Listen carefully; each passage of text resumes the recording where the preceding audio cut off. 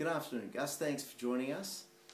Just wanted to follow on with a question on the mining industry and what's making cloud computing such a topic of interest. Hi, Pat. Well, I think cloud computing is a topic of interest for uh, customers in a lot of industries.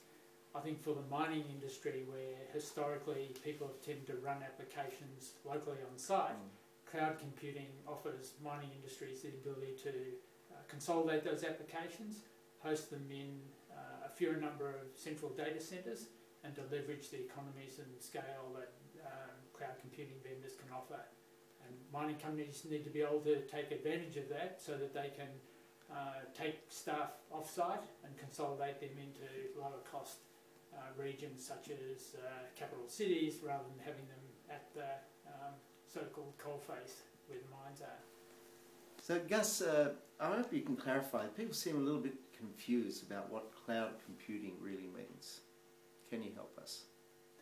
Okay, well maybe we start off as a baseline with the more traditional way uh, the companies have hosted the central services. So typically they have their own data center or they use a co-located uh, facility.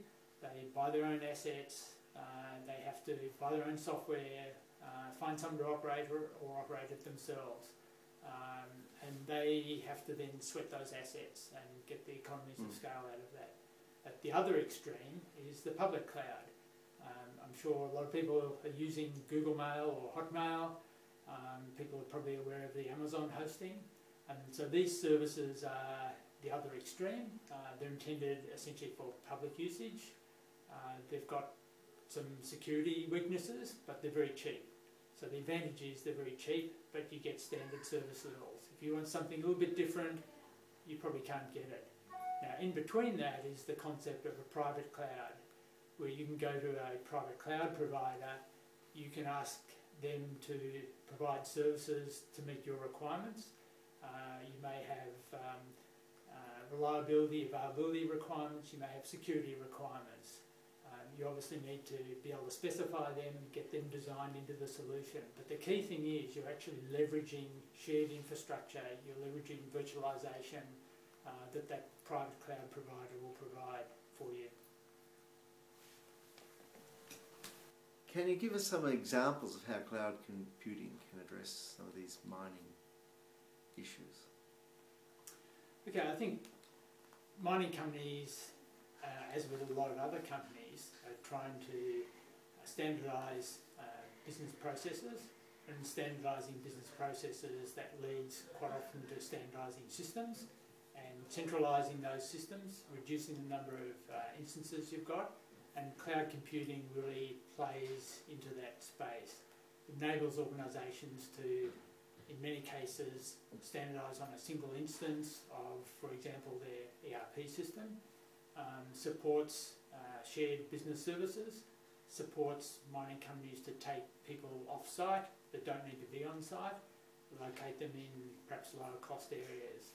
Um, so the technology that's helping organisations do that is virtualisation, um, the economies of scale that the cloud computing vendors uh, can provide. And the important thing here is that to provide the, in some cases, specific requirements around those ERP systems in terms of security, availability, reliability, uh, organisations need to make sure they've got private cloud type services um, rather than the public cloud services where they may not have uh, guarantees around SLAs. So how do miners start the journey to cloud computing? It's a great question. Um, the key to starting is to have a, a strategic vision and a, a strategic plan. Um, you, as part of that, you need to do um, an assessment of your current applications you need to look at where the business is heading and what the key business drivers are. Um, based on that, you do a very high level architecture. And the key to moving to cloud computing is to integrate that with a sourcing strategy. And um, companies find they have to move from uh, plan, build, and run their environments to plan, acquire, and manage. So it involves uh, seeking out a strategic supplier normally by an RFP, instead of worrying about the component technologies, IT departments have to um, acquire uh, IT services as managed services and package them up as business services that the business can uh, can acquire and, uh, and, and consume. You're acting chief architect at Minmetals, responsible for infrastructure strategy, and that's heavily based on cloud computing. That puts you and Minmetals at the forefront of implementing cloud for mining. Can you share what you can from that process? Okay, we at Bedrock MG are working with a couple of large Australian mining companies, uh, assisting them planning uh, actually migrating to uh, private cloud computing, so certainly not public cloud computing. And really what we've found is the sweet spot for cloud computing are those uh, applications and the systems that can be consolidated and uh, can provide support for standard processes. So, for example, uh, if an organisation standardised on SAP for ERP, it makes sense to have one implementation of it. Uh, same for email, uh, same for information management, intranet, uh, controlling security to the network. Um, those sorts of applications lend themselves to centralisation and to private cloud computing. However, mining companies are a little bit different to other organisations in that they have uh, operations in remote areas, in some cases uh, limited communications. Um, what we've found is in migrating applications to the private cloud, you have to beef up the communications. You have to have two reliable links into those sites. And there are certain applications that have to run on site for operational efficiency, safety, etc. And those applications are really not suited to private cloud computing. They have to still run on site.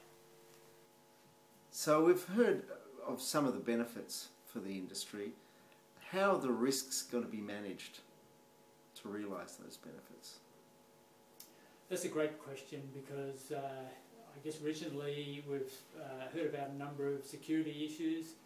Um, I guess two that come to mind, uh, Dropbox being compromised um, and the outage that Amazon suffered. Um, so in designing uh, for moving to the cloud, you still need an architecture. Uh, you still need to think about uh, reliability, availability, backup, disaster recovery. You can't assume just because you're moving into the cloud, all that's going to be handled for you. Uh, you still have to design an architect for that. And I think some of the companies that weren't impacted by the Amazon outage had thought about that and they had uh, systems that ran across uh, two environments that were uh, relatively independent, so when one of those failed, the other one, the other environment was able to keep running. Um, so one of the key things to do when you migrate to uh, private cloud computing is to uh, still have a good, strong architecture, to understand what applications are critical to the business, and to architect those for high availability and mitigate the risk of uh, putting everything into one data center in the cloud. Uh, security is also an issue, and one of the benefits of migrating to private cloud is that you can manage your security uh, more tightly than you can if you move to a public cloud. For example, we recommend uh, most companies continue to run their own uh, directory and domain and authentication, and that that's not shared with